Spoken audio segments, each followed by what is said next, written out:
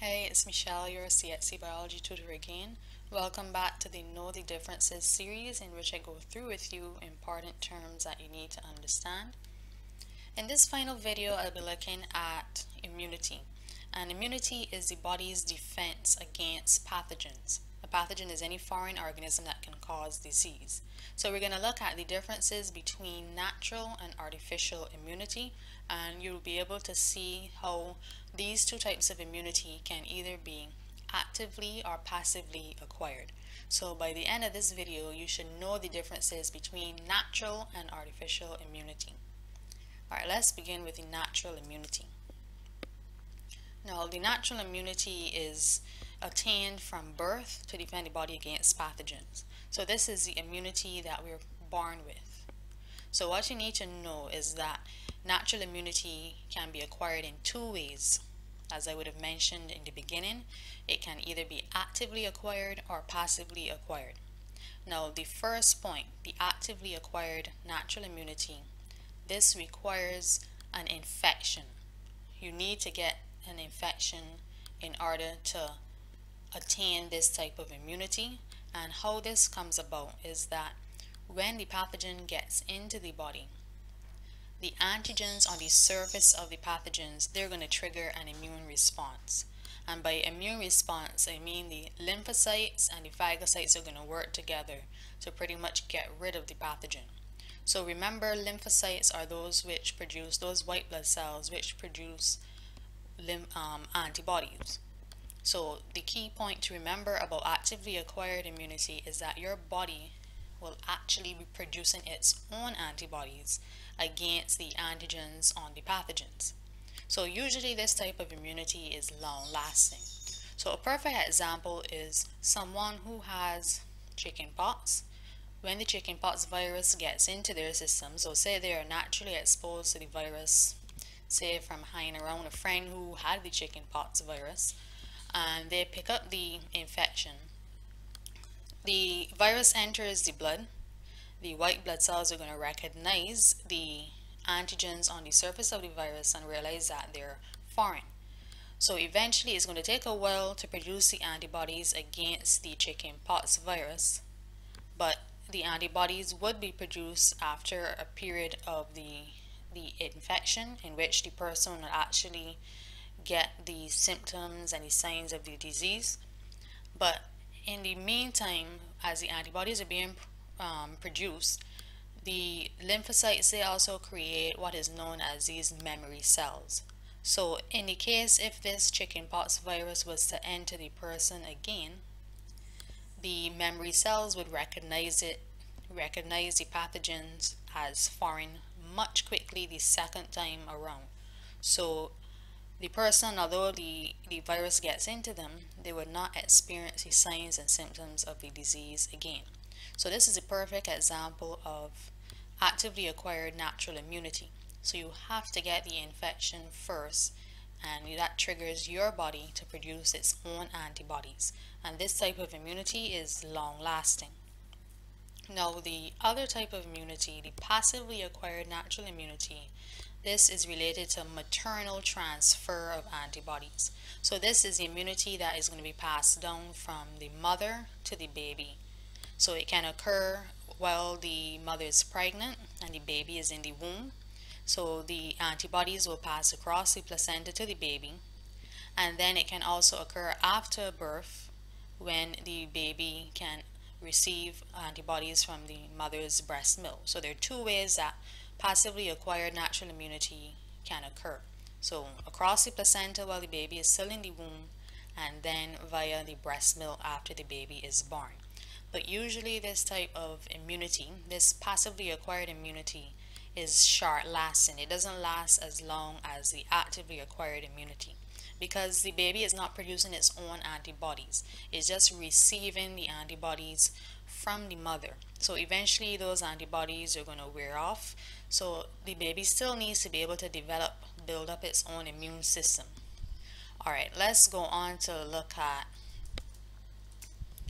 how the white blood cells work in the immune response. So this will help you to understand a little better how the lymphocytes and the phagocytes work together and then we're going to go on to look at artificial, artificial immunity. Okay, so you can see here we have a lymphocyte on the left. And this lymphocyte, as you can see, is you can recognize that by the large circular nucleus. Now, lymphocytes are the white blood cells that produce the antibodies. And the antibodies are represented by these Y-shaped molecules. So lymphocytes, when they see a foreign organism come into the body, the foreign organism, the pathogen, they would have these these antigens on the surface of their structure. So the lymphocyte would recognize that these antigens, these, these pathogens, they don't belong here. So they release the antibodies against the pathogen. And that those antibodies are going to attach to the surface of the pathogen. In this case, you're seeing there are viruses. And that is going to cause the, the viruses to clump together. So they clump together when the antibodies tag them and this now is going to pretty much prepare a meal, I like to think of it that way, prepare a meal for the next type of white blood cell, which is the phagocyte. So you should remember that the phagocytes are the ones that eat. They engulf the pathogens.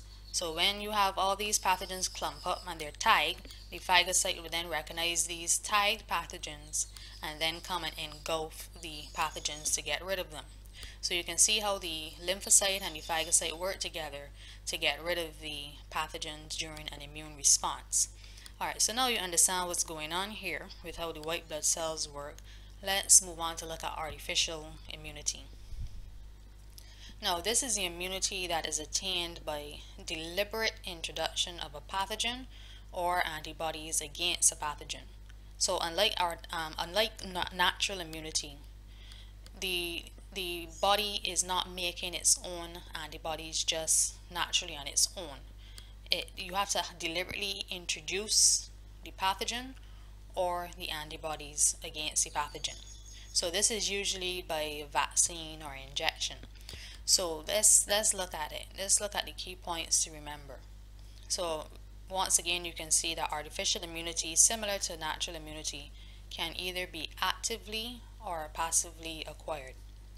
Now, with actively acquired artificial immunity, this involves a vaccine which would contain the pathogen itself, whether it is alive and weakened or dead, inactivated, whatever the case. The vaccine contains the actual pathogen that can cause disease. But the pathogen is not going to cause disease. The fact is is that the pathogen would be, as I said, is either dead or even if it's alive, it is weakened in a form in a way that it does not actually cause the signs and symptoms of the disease. So it's not virulent. Think of it that way. So when this pathogen enters the body through the vaccine, the pathogens are going to trigger an antibody production, an immune response. So it's going to be similar to the natural actively acquired immunity. The only difference here is that instead of the the pathogen coming into the body through natural exposure, you're deliberately putting the pathogen into the body. So it's actively acquired because your own body now is going to recognize the, the, pan, the pathogen and produce its own antibodies against it. So the only difference here now is that the, the pathogen is purposely placed into the person's body. So it's pretty much going to prime and prepare the person's body in the case of the real deal, in case they were really to be exposed to the real pathogen. So this is going to be, it's going to be fairly slow acting, but it's going to usually last much longer than with the passively acquired, which I will look at now. So with passively acquired artificial immunity, you're actually going to be getting the antibodies or the anti-serum or antitoxins against the pathogen. So usually this would be in the form of an injection. So think of someone who has gone to get a tetanus shot. That's a perfect example to explain passively acquired artificial immunity. So you need to get this tetanus shot immediately, say after you you stand up on a rusty nail and you don't want to come down with the tetanus disease, you don't want any lockjaw, you really you would go and get the injection with the anti the antibodies to actually fight off the pathogen quickly. So the thing about passively acquired artificial immunity is that it's very fast acting. So it works very, very quickly, but it would only last for a short period of time. So it doesn't last very long. So you can see the differences here between the artificial actively acquired and the passively acquired immunity. So just to wrap things up, so you see this chart here, the different types of immunity I would have gone through. So immunity, that is the body's ability to defend itself against pathogens, any foreign organisms that come into the body, so it wouldn't cause disease. And you can see it's broken down into the two types which we discussed, which I discussed, the natural and the artificial immunity.